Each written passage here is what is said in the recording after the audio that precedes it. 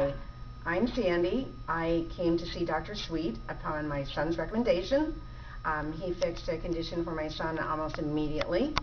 And on my first visit, um, actually, my low back pain disappeared almost entirely. I've been coming here, I don't know, a few months now. Um, everything has improved. Um, I wish I had known a long time ago about this because I suffered with back pain for many years, took lots of medication. It might go away temporarily. I exercised, it helped some, but I could never get rid of it. And after my neck was adjusted, it's been a world of difference. I come back in when I have issues, but certainly I uh, feel 100% better than I used to. And um, it's a good feeling to know that when things don't feel right, I can get them fixed.